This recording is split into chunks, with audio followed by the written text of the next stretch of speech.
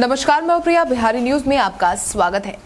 MX player की दमदार web series, आश्रम, आपको भी याद होगी, जिसमें बॉलीवुड के मशहूर अभिनेता बॉबी देओल की एक्टिंग की खूब वाहवाही हुई थी। साथ ही सीरीज़ को लेकर काफ़ी कंट्रोवर्सी भी देखने को मिली थी।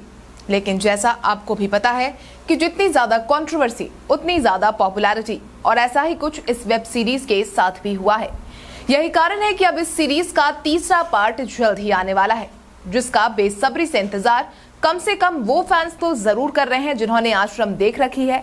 लेकिन इस सीरीज़ में इस बार बिहार के लिए भी बेहद ही खास होने वाली है।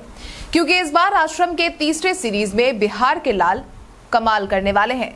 एमएक्स प्लेयर की दमदार वेब सीरीज़ आश्रम तीन में बॉलीवुड के मशहूर अभिनेता बॉबी देओल के साथ इस बार बिहार के लाल अमित रंजन नज़र आने वाले हैं। अमित बिहार के शेखपुरा ज़िले के बरभीघा गाँव के रहने वाले हैं। फ़िलहाल उनका पूरा परिवार पटना के अटल पथ स्थित प्रोफेसर कॉलोनी में रहता है।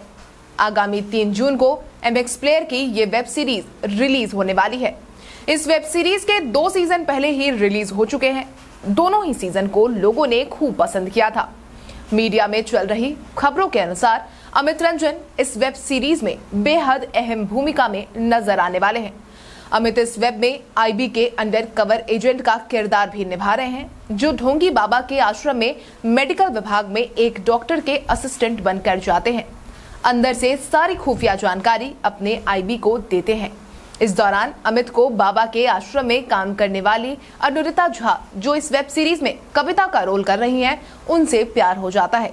फिर दोनों मिलकर अंदर की खुफिया जानकारी बाहर पहुंचाते हैं। इस वेब सीरीज़ के हर एपिसोड में अमित रंजन नज़र आने वाले हैं।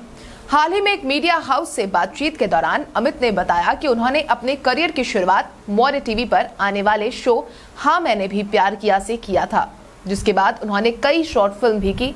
लेकिन उन्होंने कहा कि जब मैं आश्रम जैसे वेब में काम करने लगा तो मुझे एक अलग पहचान मिली। लोगों ने मुझे जाना, मुझे काफ़ी खुशी हुई कि मैं इस स्तर के वेब सीरीज़ में काम कर पाया।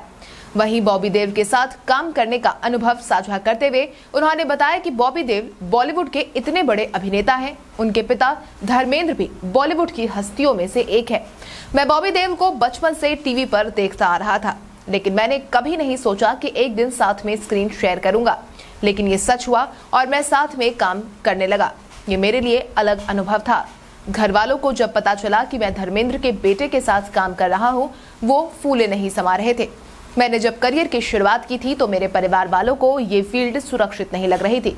मगर अब परिवार वाले भी खुश हैं और सपोर्ट कर रहे हैं। वहीं बिहार से निकले डायरेक्टर प्रकाश झा की बात करते हुए उन्होंने कहा कि प्रकाश झा मेरे आइडियल हैं। उनके साथ काम करना बेहद ही खुशनुमा पल रहा। मेरे लिए मैं उनके संरक्षण में काम करके बहुत कुछ सीखा हूँ और आगे भी सीखना चाहता हूँ। प्रकाश झा की डांट मुझे आशीर्वाद जैसी लगती है। जिसके बाद अब हम भी यही उम्मीद कर रहे हैं कि अमित रंजन अपने इस नए किरदार से लोगों को लुभाने में कामयाब रहे, उनके इस नए किरदार की चर्चा होती रहे और उनके एक्टिंग करियर में इसके बाद एक नई उछाल भी देखने को मिले। अमित रंजन के उज्जवल भविष्य की हम भी कामना करते हैं। इसके साथ ही आज के इस वीडियो में बस इतना ही। तब तक के लिए धन्यवाद।